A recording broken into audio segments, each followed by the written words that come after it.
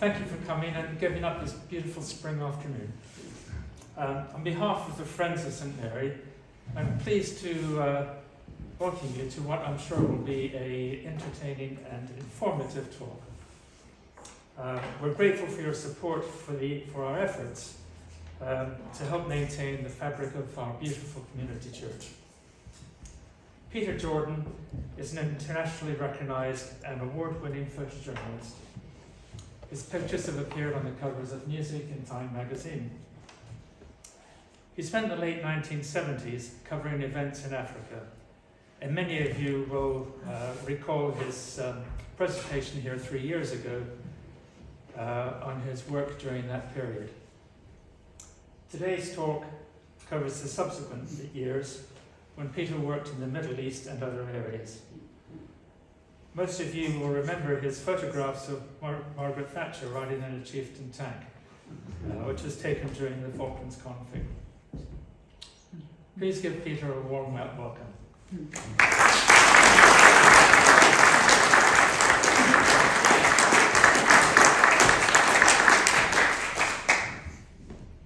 Uh, thank you all for coming. Um, so, yes, that's right. I, I left Africa, and uh, that was 1981. Came to London, where I had a small house and took up residency here again. And uh, it took a few months to sort of get into the swing of things, but by the beginning of 1982, I was asked if I could approach the Iraqi embassy and see if I could secure a visa to go and cover the Iran-Iraq war and for Time magazine. So I did that, and um, it was a lot of toing and froing between the embassy. It's very, uh, you can probably appreciate it, it was very difficult to, to get journalists or photographers from the West into Iraq at that time. It was in a very nice hotel, and but I couldn't really do anything. They, they, they gave me a minder called Dawood, and he would drive me around and every time I took a camera I said no no no pictures here. You can't you can't do that. And then uh, they would take me to some ministry building and say well I can take a picture of the people working in here. I said no that's not very interesting. I'd rather I'd rather see what's happening around in the countryside and maybe well, I could have a look at what's happening in the war. Oh no it's much too dangerous. You can't go there. So this went on and I spent that first visit really trying to make contacts and friends and pretty much came back home to London empty-handed. Uh, and so um, spoke to my editor and he said, well, let's try again, ask another, another time to go. And I did that and that was put on hold. And then Time themselves made a, a request to um, have an interview with Saddam Hussein, of which he said that might work. And then a visa came through for me, so off I went, and um, it was just about the time, in fact, I was there when the Falklands War started, so that was around about, I guess, March or April of uh, 1982. And for some reason, I managed to get a trip to the north of the country onto the, uh, where the, the Iran border was, and they were I arrived at a place and they were firing uh, 155 uh, howitzers over the hills into Iran. And um, that made some interesting pictures. And then I, the army took me to the first town over the border. And I always sort of laughed about it. I had lunch in Iran uh, in a, a, sort of canteen that had been rigged up inside a, a mosque. And uh, huge uh, biryani came out, two men carrying it and tipped it out onto a great brass plate and I sat and ate with the, the guys there, this biryani. Then I was taken back to Baghdad and sent on my way. So the third trip was July the 4th. It was around about that time. Get into uh, Baghdad and I'm met by the, um, excuse me, the editor of the Washington Post, a man called Murray Gart and the Middle East correspondent for Time magazine, Dean Brelis. And they said, we've got, a, we've got an interview with the president, but we're told to wait. So we waited in the lobby of the hotel for two days. I was dressed in my seersucker suit I bought specially for the occasion. It was very sweaty and uncomfortable and we were afraid to leave to go to the lavatory and one of us would have to watch in case they arrived. And then suddenly this car pulled up on the third day and a couple of uh, guys jumped out and said, Yalla, let's go. President is waiting for you. So um, off we went to his palace and I had all my equipment waiting. I had silver boxes with film and lighting equipment and things like this. And got there and uh, Murray and Dean were waved straight through security, but then I was scrutinised because of the cam cameras. So the army looked at it and said, no, no cameras. I said, but I'm going to take, I've come all this way to take a picture of your president. They went, no, no, no, you can't have a camera. We've got our own cameras. You can use them when you get inside the room. I said, what cameras? Well, they're cameras, you can use those. And I said, no, I'm afraid that won't work. I'm not going to go. So they said, you have to go. I said, no, I'm not going. Not without my cameras. So they sent a, another, a colonel it was, sent him into the room where President uh, Saddam Hussein was. And there was, a, I imagine, a conversation. He came back and he said, okay, we've got to look at all your equipment.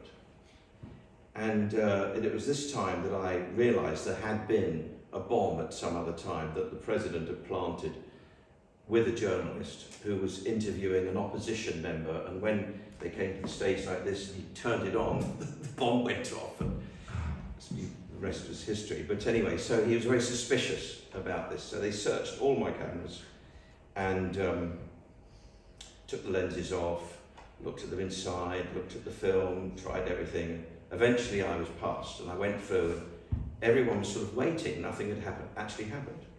So the camera I saw on the side was an old Rolleicord, which takes a different size film to what I had with me, so it wouldn't have worked anyway. And uh, they were sitting there, and it was it was a bit like the president was sitting up higher, like in it was like in a courtroom really. He was sitting up higher, and Murray and Dean were sitting here, and I was delegated to here, and there was a lot of ar just army guys all around. So the first thing I did was go up to him and with a light meter to see what the light was, and I was rushed. Military guys came up because I got so close to the president, they were very nervous. And so the shoot started, and, and it went on for a while. And for those of you who understand film, it was tungsten lighting. So you can't use daylight film. And uh, there's a different, there's a tungsten film you have which color corrects the film. Because if you, as you might notice, some of these pictures in here look a bit red. That's that's because of the way it's, it works, but they're not supposed to be red. But So I had this tungsten film shooting away and it went on for quite some time. And at the end, through a translator, the president said to, uh, to uh, Murray, um, is there any other questions you were too embarrassed to ask me before the interview? And he said, well, there is one. Um, I believe uh, the local elections, of which you just won 98% of the vote, um, in southern part of Baghdad, in uh, you, uh, there was a lot of rioting and people weren't very happy with you. And suddenly he spoke back to the translator and a little bit of conversation. They said, okay, let's go. And they all jumped up. and I thought I was going to lose my film, so I was hiding it in different pockets and taking it out. And we went outside and uh, there were literally 12 black Mercedes lined up outside. And I was shoved into the back of one, two AK-47s on the back seat, which I sat on and had to move those. Murray and Dean disappeared somewhere else. Anyway, we drove to this exact place we said in Babda. And uh, there's the first picture I took of him when he was sitting up there, and that's been used quite a lot uh, on covers of various things. And it, actually, on a weekly basis, I still sell these pictures through my agent. Not for very much; it's usually pennies, but um, every week it sells. And so the lighting was actually quite good, and it, it's uh, for for the kind of low level of what it was, that I was quite pleased. And um, And then here it is in Baghdad, and that's Dean actually there, the only other Western guy you can see standing. And there's, uh, in the middle here is Saddam waving and his troops around him. This guy drew his pistol down here, a few of them did afterwards, and uh, there's a lot of other pictures, I'm just including the one, and some aren't scanned, so I'll leave it to your imagination. But um, so there we were. And uh, then he, he took me into somebody's house, and this picture I've never really uh, bothered to, uh, to use or print, but for this occasion I thought it was interesting to see that this president was, went into a house. None of this could have been prepared because no one knew that Murray's going to say you weren't very popular in this area. But he, it, it seemed at the time he was, so rather discounted that. It was very interesting. He gave them, I think in his hand he's got a purse, and he left some money for the little boy. And um, this is another shot of, of him. And uh, I'll just go on that after this, uh, the war was um, building up around Basra. So uh, I was um, I was asked if I would go down to Basra with Dawood and see what was going on. And I said, well, I get to see any of the fighting in the front. I went, no, not really, I don't think so. But you can go down. So we drove and it took all day. I left early in the morning and we would, it took about 12 hours, I guess, to go from Baghdad to Basra. Checked into the Sheraton Hotel and, and then um, I could hear artillery uh, fire and explosions. And then every uh, 20 minutes, some huge shell used to pass over our heads and explode half a mile away. There was some, I don't know what caliber it was, but it was something, it sounded like a train going by as it passed over.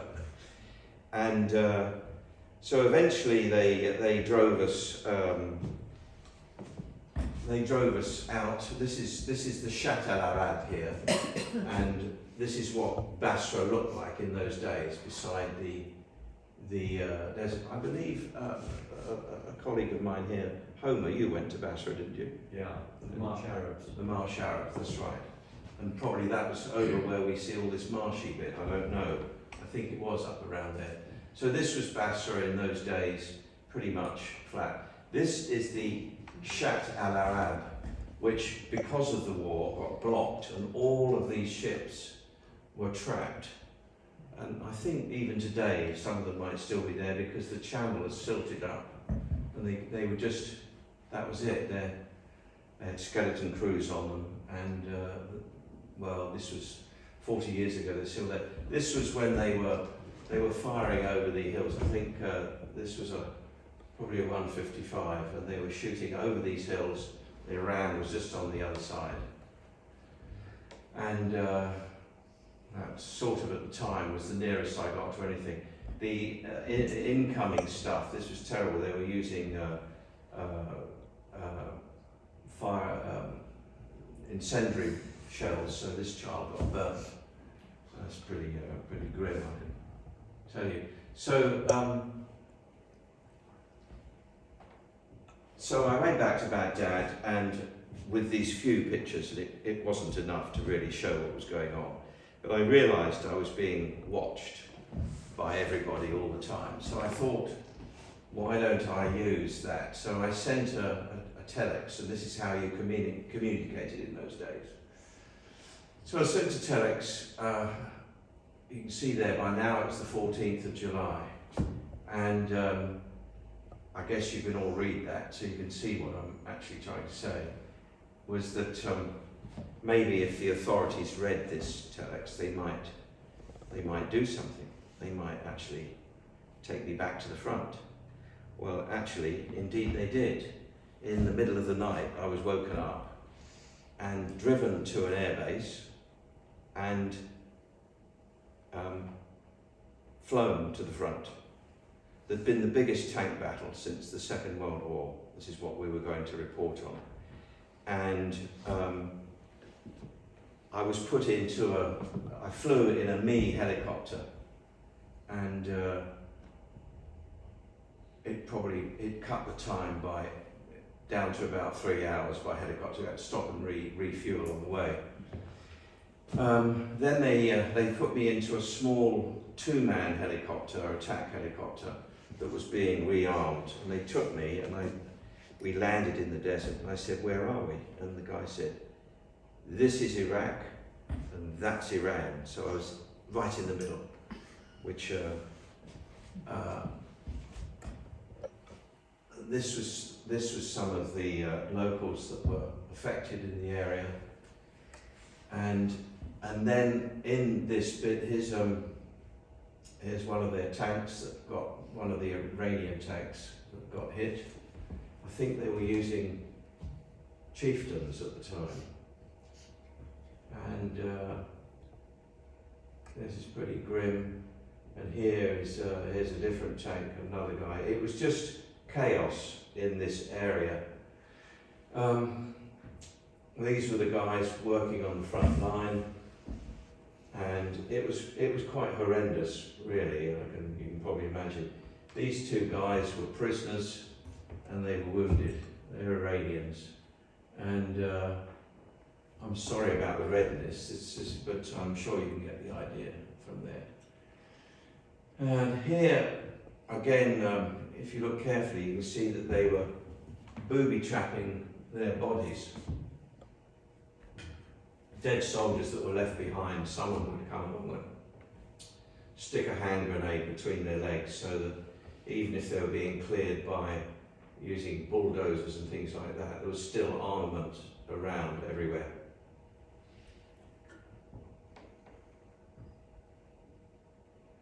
And in the trenches, uh, this is a frontline trench, um, I jumped in and thought I was standing on sandbags because everything was covered in dust. And uh, it was indeed uh, dead soldiers. Uh, pretty horrific. That ran as a page in, uh, in the magazine that following week. And then as I was there, overhead shell bursts started to come in. And um, that is pretty terrifying because they explode maybe 150 feet in the air and uh, there's very little place to take cover. So at this point, I wanted to, uh, to go back to the hotel, I think. but uh, no such luck immediately. Um,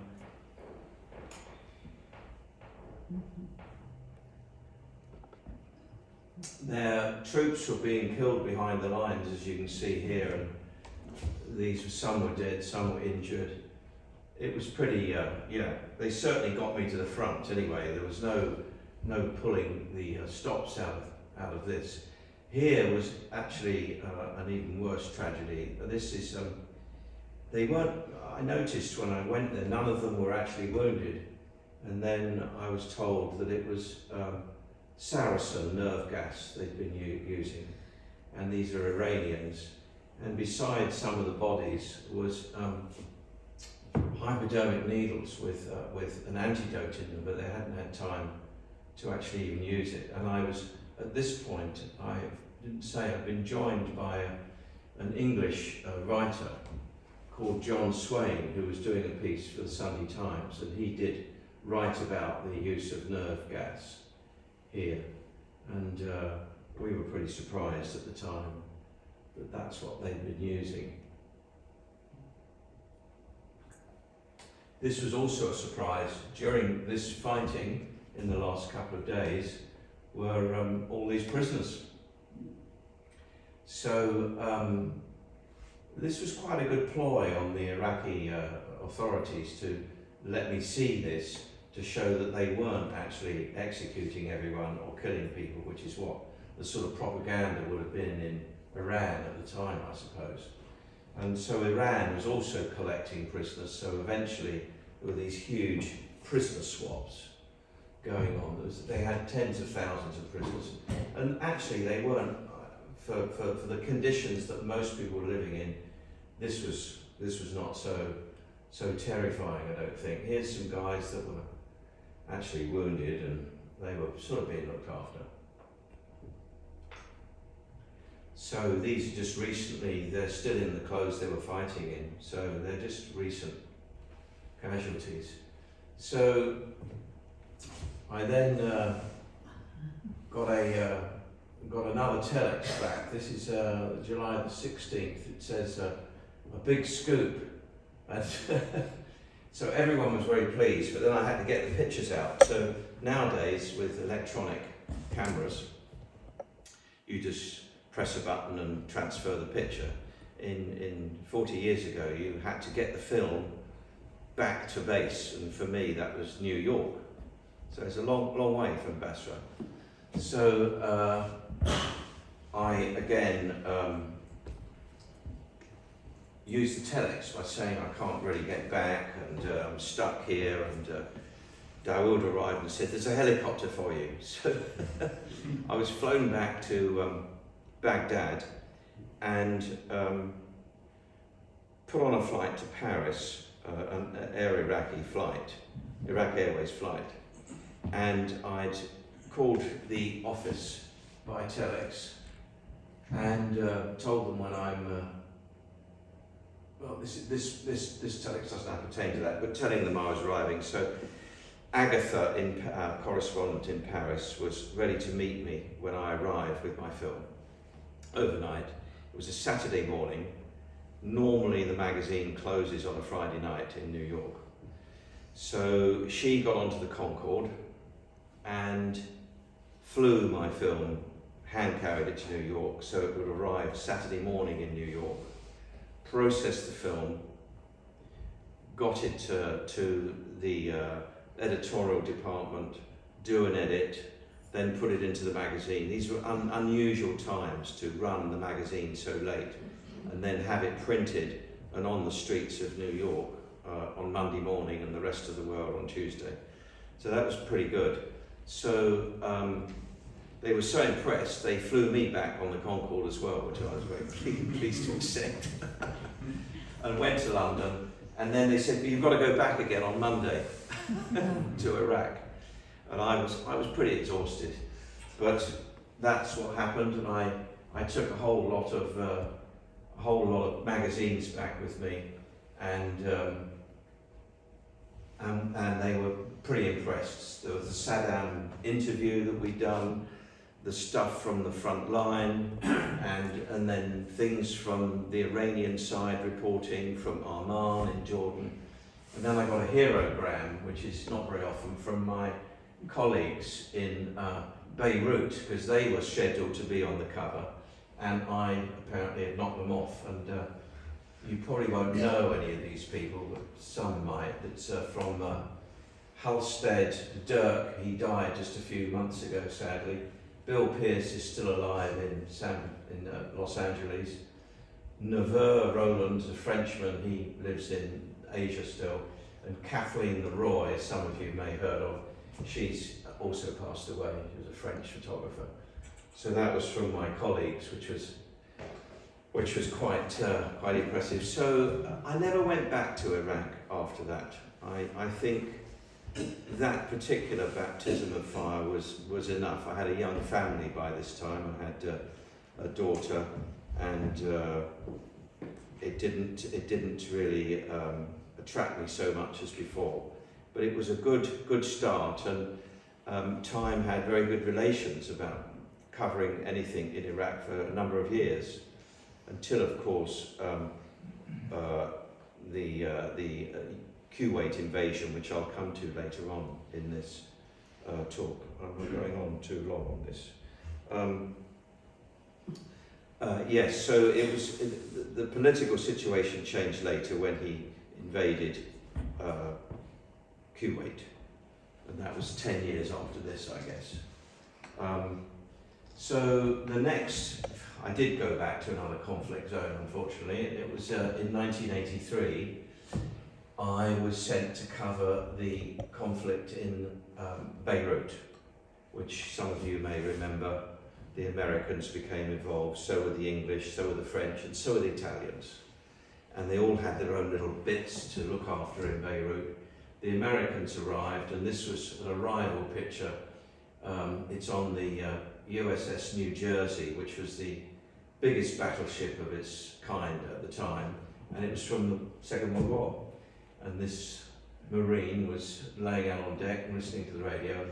These guns were incredible. The shell they fire is it weighs the same as a Volkswagen, and uh, they they they're really accurate. They could fire these naval guns were fantastic. They could fire way into Beirut and uh, uh, take out a block of flats if they wanted to. They, they, they were they were massive, massive guns, and they used to fill the magazines. I went in there with with sacks of gunpowder, literally. They were like silk sacks. They poke into the to the back of the gun and then put the shell in, and then it would make a huge blast of flame when they went off. They were just incredible. Most impressive sort of thing. Anyway, it wasn't long before um, the American headquarters had been blown up, and I spent the day with them uh, at this place here, which was at the airport, and it was. Um, they put their marine base there. This is now October 1983. It was the 23rd of October. Even in Vietnam, they didn't have death tolls like that in a day.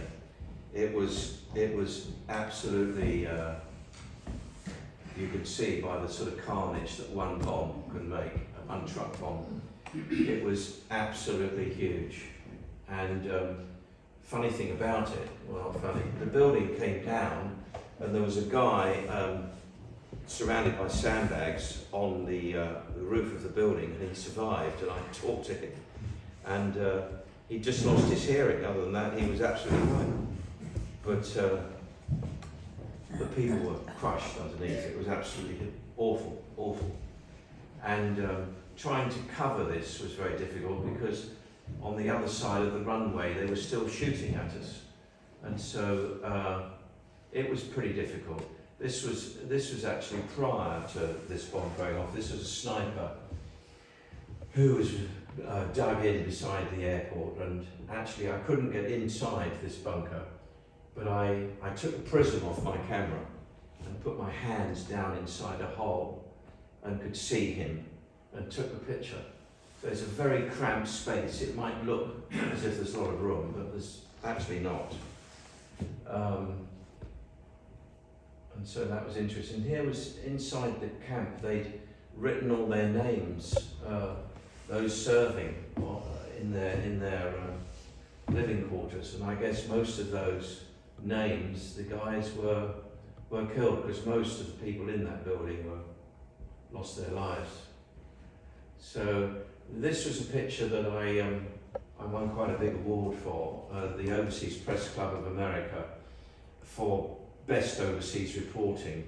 And this was after a couple of days, which we've just seen recently in Turkey. People can survive uh, being inside a building for actually longer. Um, even up to a week or 10 days. Um, he was brought out alive, and this was quite a positive picture at the time. But looking at these soldiers now and realizing this is 40 years ago, they, they looked pretty much like they did in the Second World War. They've changed very much now in their uniforms. But this guy, there's been several stories about him. He survived and lived a healthy life afterwards. It's pretty remarkable, really. And um, and this is searching through this rubble. It was it was tragic. So body parts and all the unpleasant things that you don't you don't normally think of when you're reading these stories. You don't get the real feeling of what it's like. It's a it's it's it's pretty awful. Anyway, here's my shipment.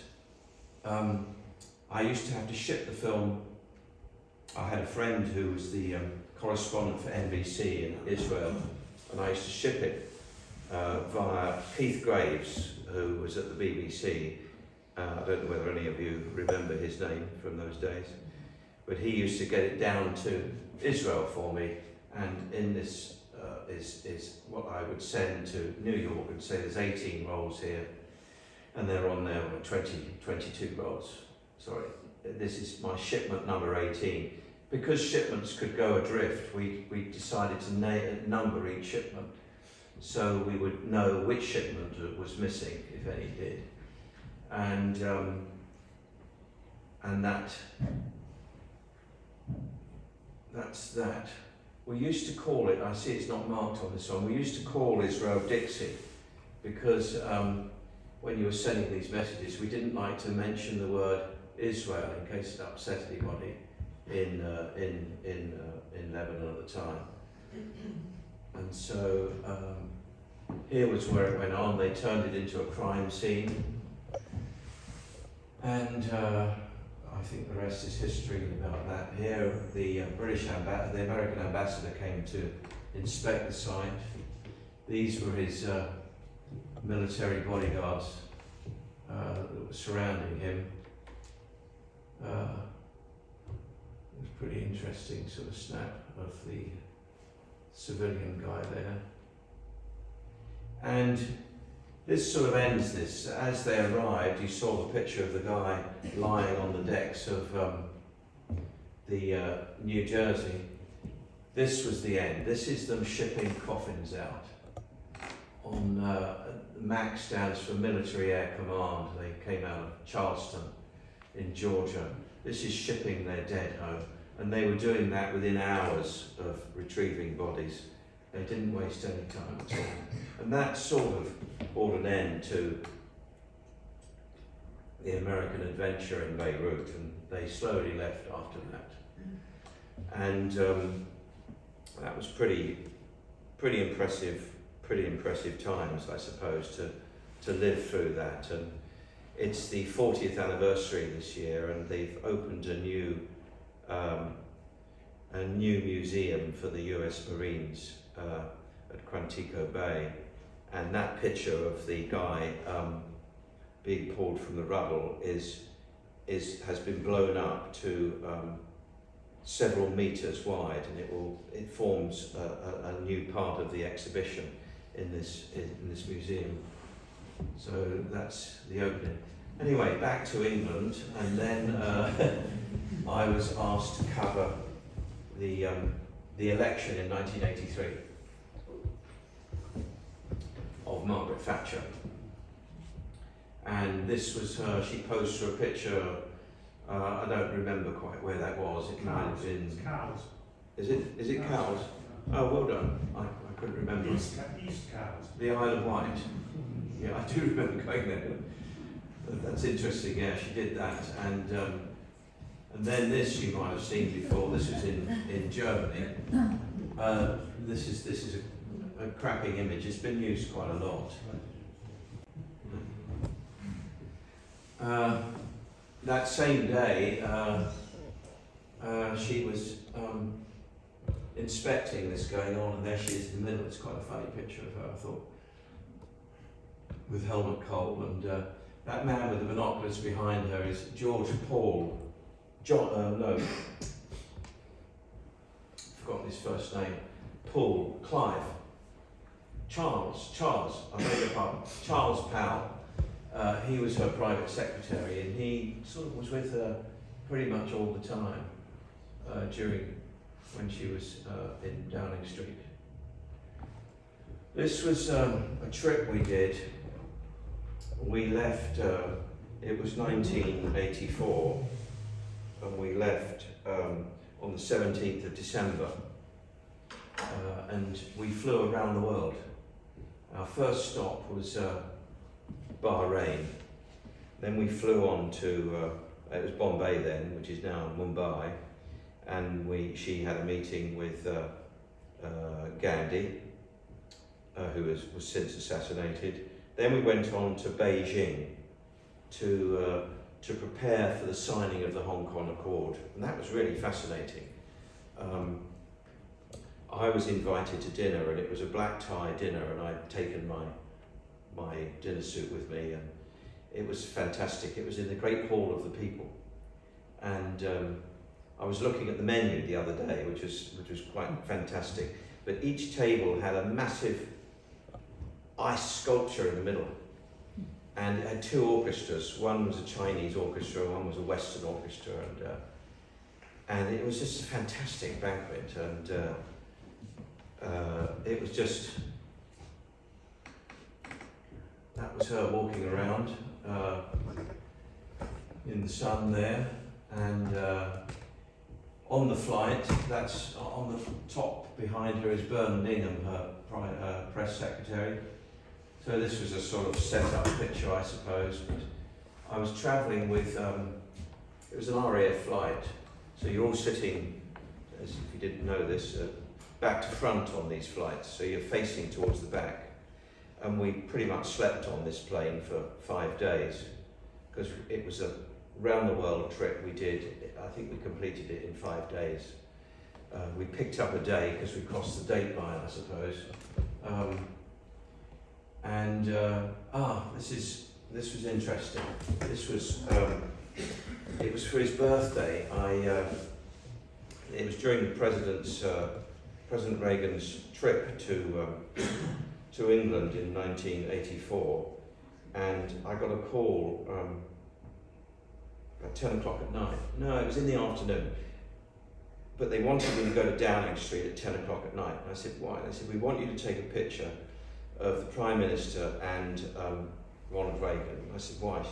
They said, well, it was, it was actually Bernard who phoned me. He said, well, she wants to give the President a birthday present of her and uh, herself in front of Churchill. This is a portrait that's in, is inside Downing Street. And so I arrived, I don't know, about eight o'clock, took my lights in, and in those days you could drive up to number 10 and park outside. So I could unload my cameras. I went in and set them all up. It was quite sort of nerve wracking, I think. I put about three cameras in with loaded up with film, and they were in a cabinet meeting with all the American guys. There was, uh, uh, I can't remember all the names of these people now, but they were all there and um, I was getting ready and suddenly she appeared and I got them in front of this picture and uh, and he uh, he said to me, uh, "Who do you work for?" And I said, "Time magazine." He said, "Oh, so you're one of ours?" and she said, "No, Mr. President, he's one of ours," which was quite funny. Anyway, I. Uh, I did the picture and it wasn't for publication, so uh, this was a, a completely private uh, arrangement. Uh, I got them printed and then um, I, I um, gave a couple, asked for a couple to be signed by her, the prints, of which she did, and I sent one, both of them actually, to my picture editor, and he sent them to the White House and got President Reagan to sign them as well. So he and I have two, a picture each of these, both signed by both of them. So that's uh, that was quite a, a memory, really. Um, and then here she is in China, in Beijing. That's Deng behind the little guy. I've actually got a picture of her being interviewed uh, with with him, and at his feet is a spittoon, which is quite a funny picture actually. Uh, they still use them there. Uh, that's Geoffrey Howe over there, you might recognise. And uh, this was in the West Country, uh, visiting a farm, and uh, in it she said, uh, what is this? And someone said, it's manure man. And uh, she put that down. That was a funny picture. It was also in 1983. Uh, here, I've got a few sort of mixed pictures because she travelled around a lot. This is in Jordan with King Hussein. Uh, this is, I guess she was selling arms. I don't know what she was doing, but it's not that. This is Charles Powell again, her private secretary in Downing Street. Uh, because in 19, towards the end of her premiership, I, I wrote to uh, Bernard and asked if I could do a shoot for Life magazine. And it, it took months to arrange, and eventually uh, they said I could do a day in the life of her. And so um, I, I said, well, if we do that, I'd like her to change clothes for the different rooms we go to, because it'll look pretty uh, not very interesting if she's dressed in the same clothes and in, in various rooms in Downing Street. So uh, no one would ask her because they thought it was a bit of a cheat to say we want you to change your clothes throughout the photo shoot. so, uh, I said, can I have a meeting with her so I can actually talk about what I wish to do? And that was agreed. So I went there and um, I said, Prime Minister, can we, um, I know this might be a bit of an imposition, but do you mind if you change clothes when we move to another room when we do these pictures? Because I've got to move my lights, so it gives a window of opportunity for you to change. And she thought this was a great idea. She said, that's fine, I can get I can get Claudia in from Aquascutum and she'll bring all the clothes in and we can start choosing them. So and the, the, her staff had, had, no idea that they thought this would be a good idea. It just it really worked. So this is part of a series of pictures that that um, that work really well. So here she is with with Charles, and um, well, not that one. She's in the factory. I haven't actually got these in the best order. But this is during that election when she was campaigning, and I'll get back to her in Downing Street in a minute. This is. Uh, this was during the Commonwealth Conference um, in Toronto, and I was on board. I was invited on board the yacht, actually, the Royal Yacht, for a a cocktail party, and then this happened afterwards. It was quite quite interesting. Here she is with Gorbachev when he came came to London. And I went on her trip. I should have added, I didn't only do the round the world, I actually travelled with her for about five or six years on all her foreign trips. So I went to Moscow with her, and uh, when she went in uh, 1986, it was in the spring of 86, and uh, it was the beginning of, of, of, of the softening of relations between the West and Russia. That was pretty interesting. This was before the summit that Gorbachev had with Reagan in uh, Reykjavik. This is uh, with Ronald Reagan. He's, that was actually um, that was in Washington, and she said made some joke, and he burst out laughing, and uh, that was quite good. and here we are back in China. This is this is uh, inspecting troops. There was a lot of pomp and ceremony for that. It was, it was pretty good. And Camp David, that was the end of our flight around. She arrived at Camp David, uh, and that was also uh, interesting to see. not many people got access to Camp David in those days. So we're back in Downing Street. Here she is with Dennis in the upstairs flat. Uh, you probably know that um, they have all the uh, rooms to sort of work in and entertain and stuff like that, but they actually live up at the top, which is sort of quite a pokey flat actually.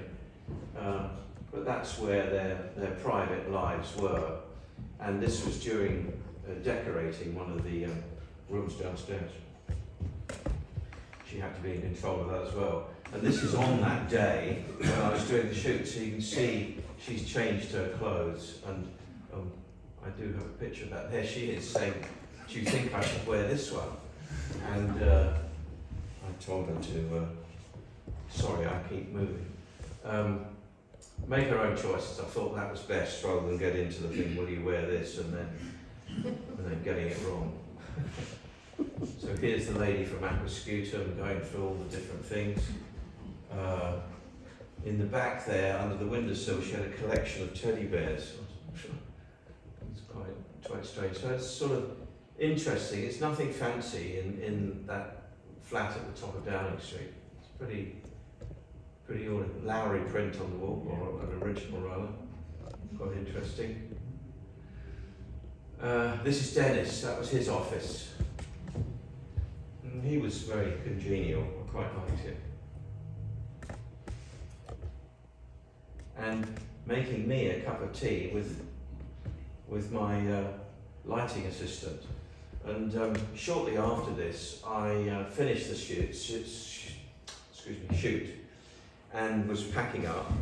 The um, there was a there was a courier there who I gave the film to because it was also on deadline, and it was it was um, it was a Thursday afternoon, and the film needed to get to New York for the deadline for Life magazine, and um, that the film had all been shipped, and I was packing up, and uh, she said, You haven't photographed my ball gown. I said, Oh, uh, well, okay, let's, let's do it. And she came out with this number. It was just fantastic.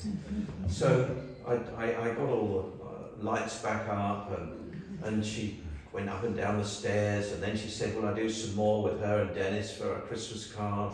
And it, sort of went on, and it became quite late. It was now about eight o'clock at night, and then I was offered a gin and tonic. I said, I've got to go.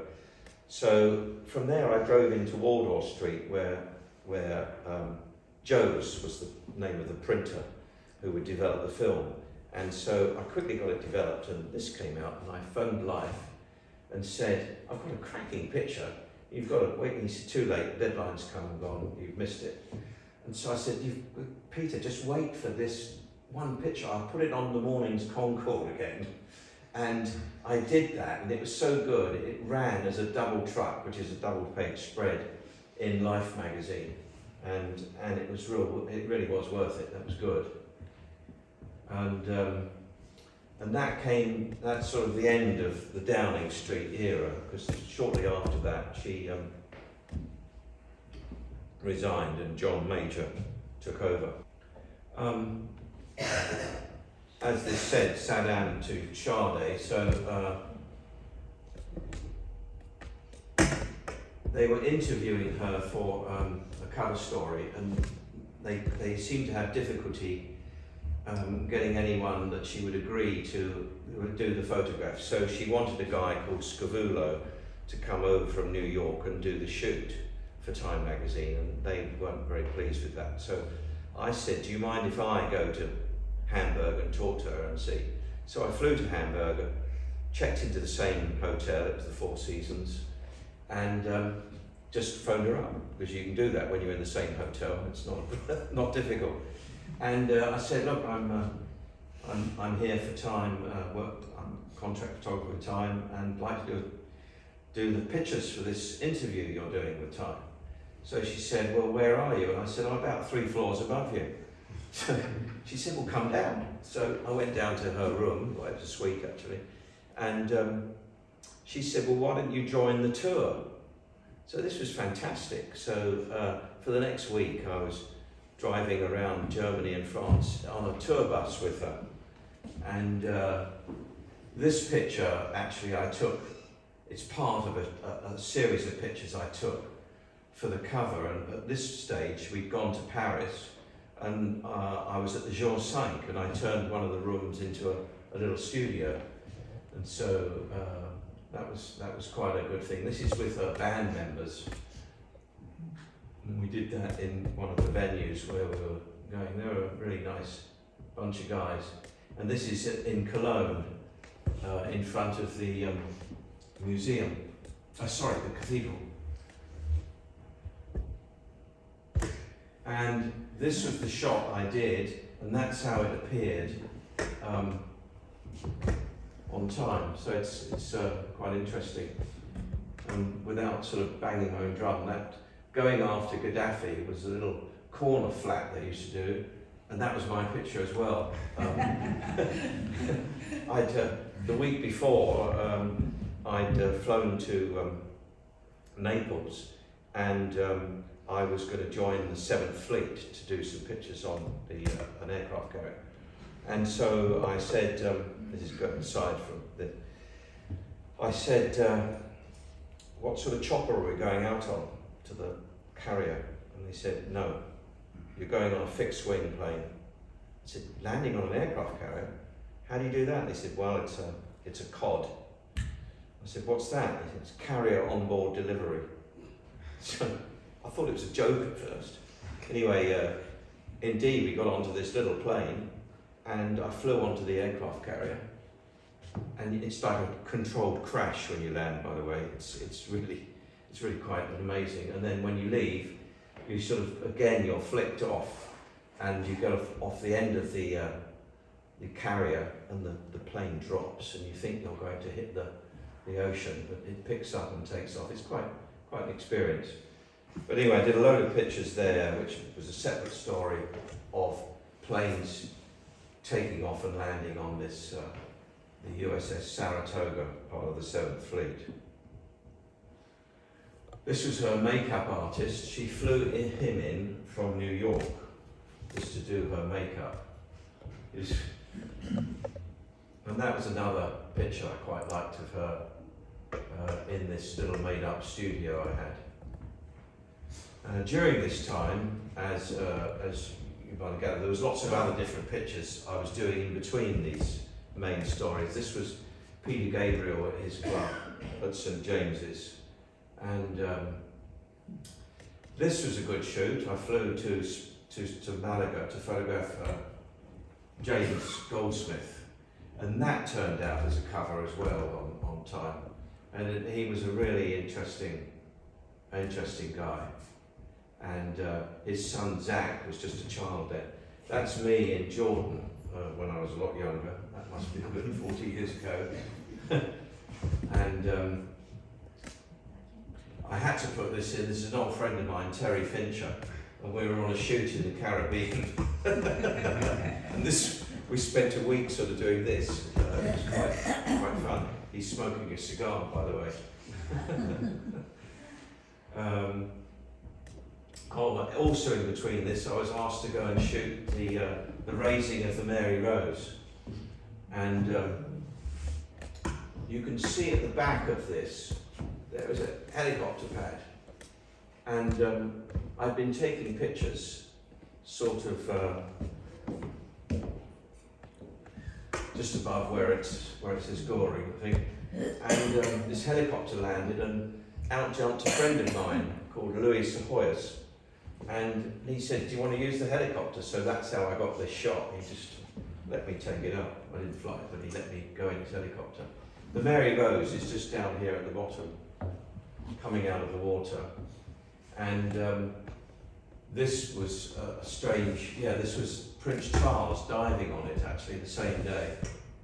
And recently there was a, a program about this on television. I don't know if anyone saw it, about the raising of the Mary Rose.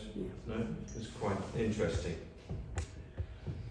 Uh, no, another very nice trip was travelling on the um, Orient Express to uh, to Venice, and um, Princess Michael of uh, Kent and her husband were on board, and uh, that's the owner of the train in the background there. And then they were. This was stopping in Switzerland on the way. Someone gave her some flowers, and uh, as the train was leaving, um, I was taking these pictures from the platform, and she said, "It's a wonderful trip. It's a pity you're not with us." And I said, "Don't worry, I am." Jumped on the train. It was quite quite. Interesting. Uh, this was Prince Charles um, uh, earlier. Uh, it was the independence of uh, Rhodesia to Zimbabwe in, in the early 80s.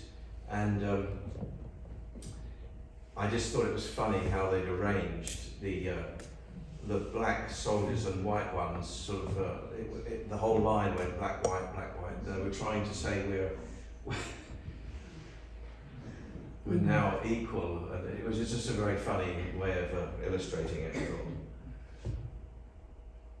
Now that was uh, the Queen at Windsor Castle with Ronald Reagan on another occasion, and they went riding, and uh, this was the marriage of uh, Sarah Ferguson, I think it was. Margaret, the Prince, and uh, the Queen Mother. This was the Queen in the Caribbean. Part of those pictures I took where Terry was laying in the water. And uh, here's another one.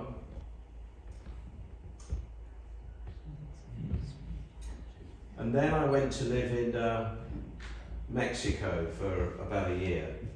And uh, and no one spoke English wherever I went. So I had to do a crash course in Spanish at the Instituto Norteamericano and spent uh, every day for a couple of months going there. And uh, I think I learned pretty quickly, but I also forgot most of it pretty quickly, I think. But it was useful while I was there. This was um, bullfighting in Nicaragua. Uh, and I was with a very good friend of mine, uh, Sylvia Plachy. She was there as an art photographer and she did some fantastic pictures around this blue bullfight as well. And this picture, actually, I won a first prize at the World Press for child labour, which was this boy was um, was was was selling charcoal, and uh, there's a little cast from this, but it's not bad. That's, that's I'm quite proud of that picture. And I went to Peru as well, um, where they were panning for gold, but it coupled with the destruction of the uh, the Amazon, and that was that was very uh, an interesting story. But uh, I did it on my own, and it never really. I sell pictures from this now, but at the time, no one was really interested in the story. But it was I quite it was quite fascinating. This was when they came in and uh, with their bits of gold, and uh, he would weigh them. And oh, that was another funny story down there. The killer bees. Um, this was at the Panama Canal. They were trying to stop the bees crossing over from South America to to North America, but uh, that didn't work. I don't know whether anyone knows the story of these bees. That they'd um, someone crossbred a honeybee with a kill, an African killer bee, and um, and they thought they did it in the jungles of South America, and someone let them all escape, that's what happened. These killer bees spread throughout South America up into the north. Not so much for killing people, which they did do en masse. They, they more were destroying honeybees, and, and, and it was a huge threat to farmers at the time because uh, they trucked them around in America to pollinate their, their crops. This was a huge threat to the Americas. And it seems to have, uh, nature seems to have sorted it out by uh, they couldn't survive in the north winters. This was something else I was probably doing in Barcelona. Um, this is an actress called, um, and the name's gone right out of my head. It's a Polish actress. Uh, sorry about that. But she was lovely. I'll think of it when I've passed her by. This is um, Garcia Marquez. Uh, he lived in Mexico City. I'm obviously almost talked out, so I'm sorry. Gabriel Garcia Marquez, that was his name. And the actress, who I must go back to because she was so lovely, was Hanna Schygulla. And they collaborated on some films together and writing. And uh, I think he died just recently, sadly. She's still alive. He was an interesting man. This was General Sir John Hackett, and it's in the Cavalry and Guards Club in uh, in Pall Mall.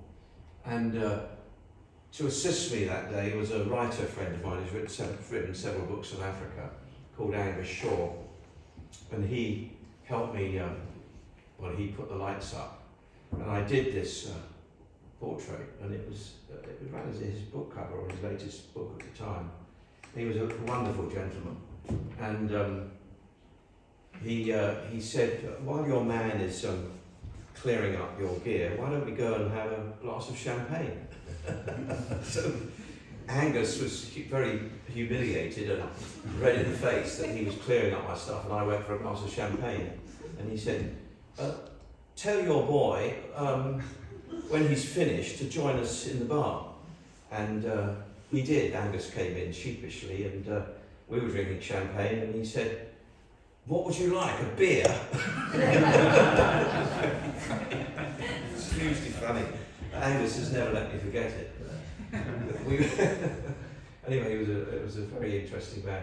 This was Ian Smith after he was retired, and I went to see him on one of my visits to Zimbabwe, and he was very ironic. He was quite funny. He, I, I said, "Where are you living now?" And he said, "You God miss it. I live next to the Cuban embassy," and that's indeed where he did live.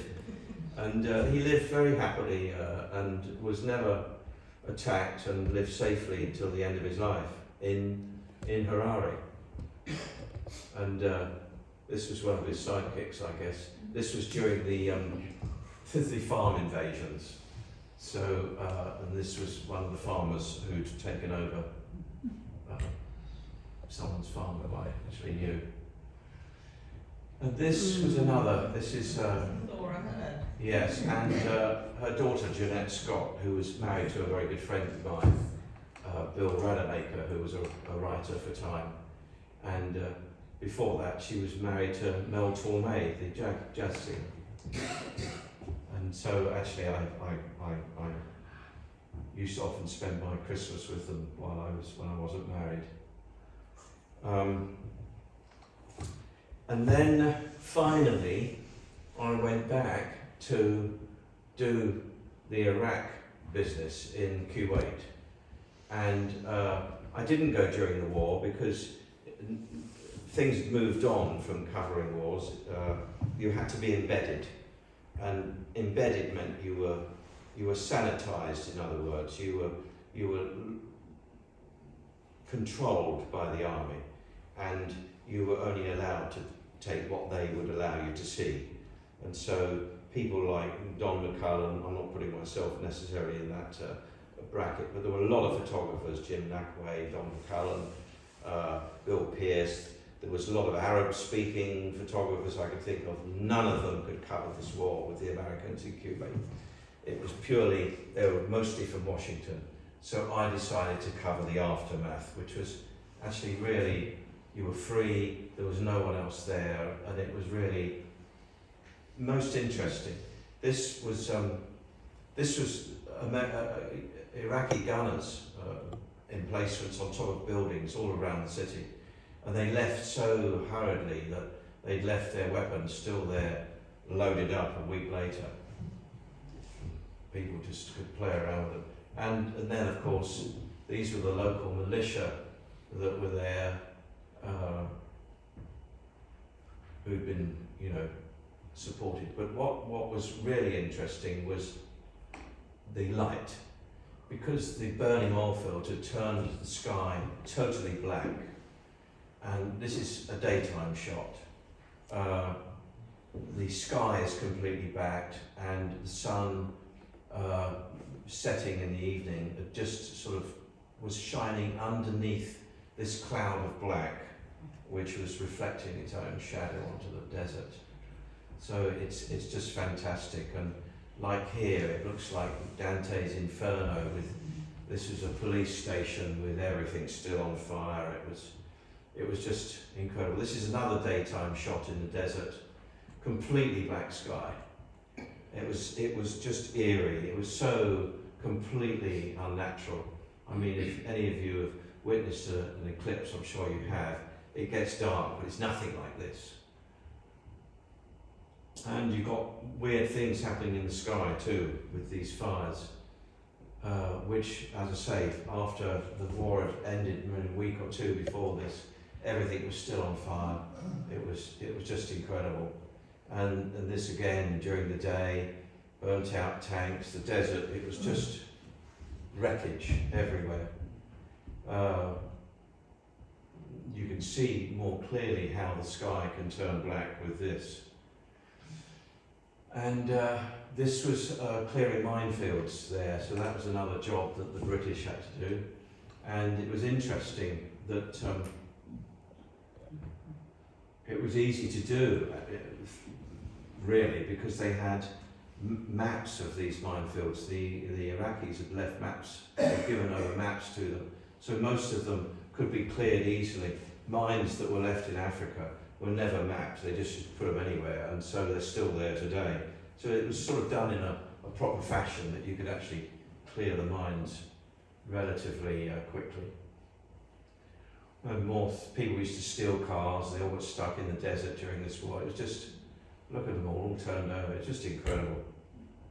And, uh, oh, I, I, I, found this this morning. I used to keep a diary wherever I went, and often when I was travelling I didn't because it was something else to carry. But on this occasion, I was actually writing daily. And so uh, here I can see quite clearly it's March 18th. I flew to Saudi on a C1, flew on a Saudi C-130 into Kuwait. So I just sort of hitched a ride. I got from Bahrain, I crossed the causeway to uh, Alcatraz, I think it is, and just went to uh, the uh, headquarters there and hitched a ride on a on a Hercules with all my stuff, and um, set up camp in a in a hotel room with no door on it. It had all been knocked off, and uh, no water and no electricity. So it was pretty tough staying there for a while. But it gives you an idea of how um, important it is to keep a diary that you can go back because I couldn't remember all of these details, and uh, I can see here. I said early start with the British, first stop on the Sir Galahad um, for breakfast of egg and bacon. And uh, actually, I, I was winched on board via helicopter, so that was quite interesting as well to be winched out of a helicopter.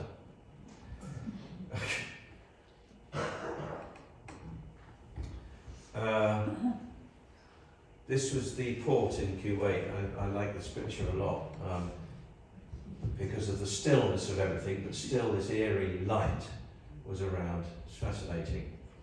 This was my driver, uh, who uh, was very, very brave because he didn't have to do all this. So he was driving around, and there was a lot of armaments all left on the floor everywhere. All of this stuff going on. Not long after this, actually, there'd been a film crew where um, they they burnt alive uh, because the desert suddenly caught fire and they were in the middle of it, and whole pools of oil went up. So it was pretty dangerous. This was people escaping Kuwait City, and and that was the wreckage. It was like a highway of hell that the Americans had uh, attacked as they were leaving. And you can see the power of these flames. It's just unbelievable. This was a quick shot of the press still working there, just to see how it is in modern times, more modern times anyway. And this is, uh, yeah, you can see what actually happens uh, when pretty much a direct hit comes in to these vehicles. They're, destroyed. It's just amazing.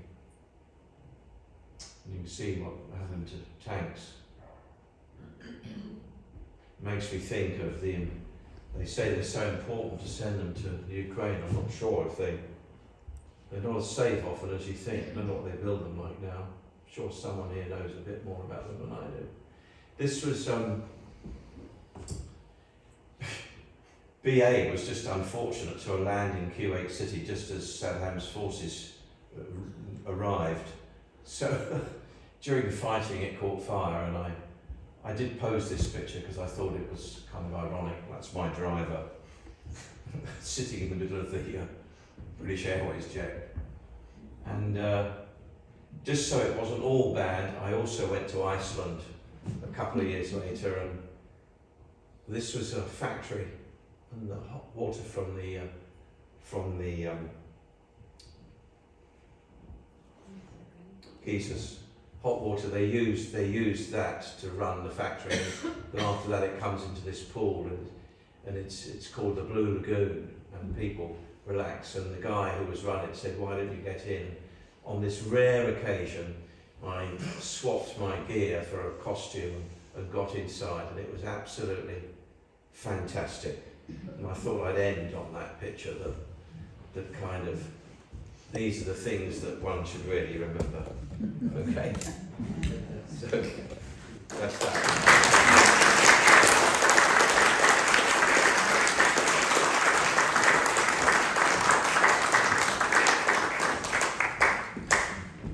Okay, thank you. That was fascinating. Amazing. I've got a dry throat now.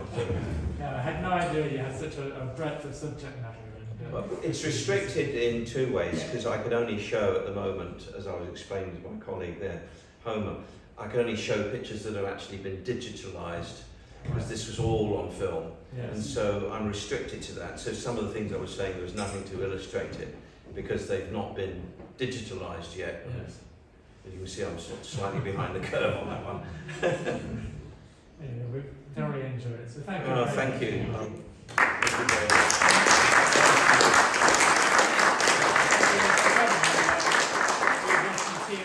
you.